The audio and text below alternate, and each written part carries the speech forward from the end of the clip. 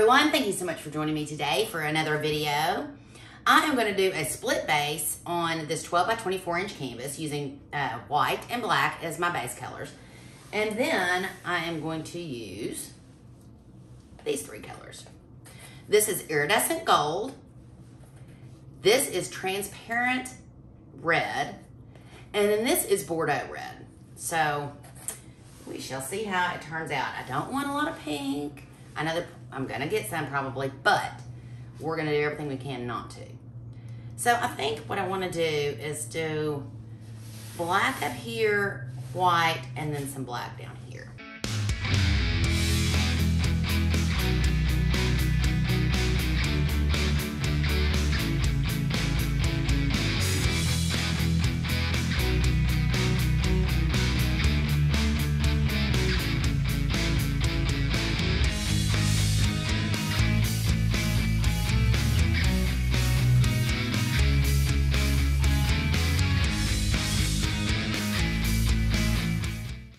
All right, there we go. It doesn't have to be perfect, like I said, because I'm going to be putting my colors right here anyway. And I'm going to start with this beautiful Bordeaux red in the black. I'm going to put it in the black. Just right here. There we go. And right here. Okay, and I'm only using three colors, so, uh, besides the base, of course. Then I'm gonna add a little bit of this transparent red. Now what this is gonna do, I hope, putting it in the black, yes, it's gonna go in the white, because I'm gonna blow it in the white. Um, but I'm hoping by putting it in the black, it will prevent it from turning pink. If I get a little bit of pink, that's all right too. There we go. Okay. And I think I'm gonna drizzle a little bit of white in there, even though I've got this other white. There we go. Just to give it some brightness up there and down here. Okay that and that. Okay, let's pop the air bubbles. See how this turns out. I like the design. It's gonna give me the negative space up here, which is what I want. Give me a little bit of design in the middle using my thirds here.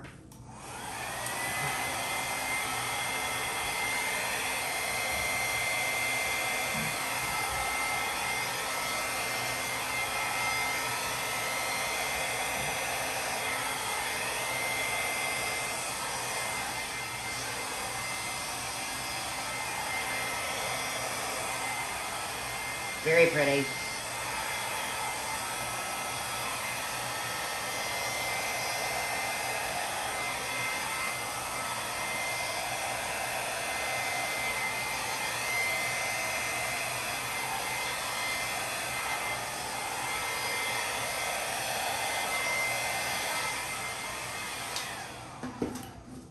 Ooh, I like it. I like it. Got a lot of paint. Look at all that paint in the center there. Hmm. But I love this. Uh, I gotta get some of that paint out. It's way too much. I'm gonna blow some areas. So I'm just gonna work on some details.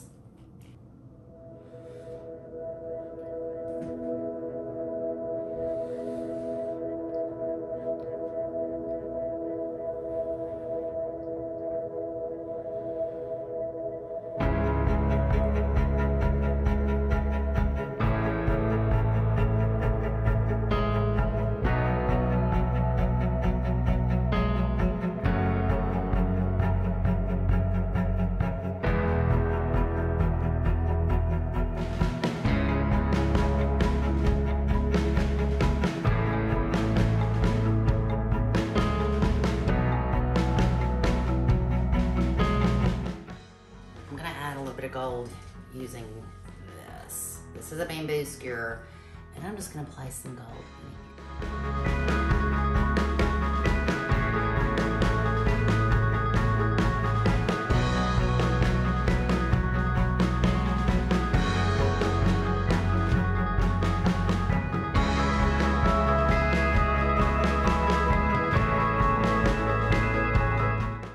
I don't like this. This is Maddie. I'm going to There we go. Just keep working at your painting. I love the composition. I think it's really pretty. I love having this blank negative space up here. This got a little muddy. I had too much white, which, you know, it happens. So I may put more color and go ahead and blow this out again.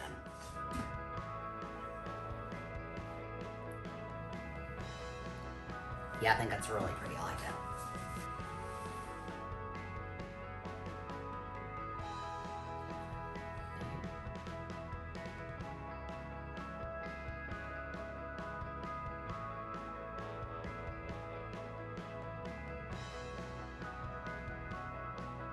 I'm gonna bring you down and show you the wet results and then I'll show you the dry results at the end.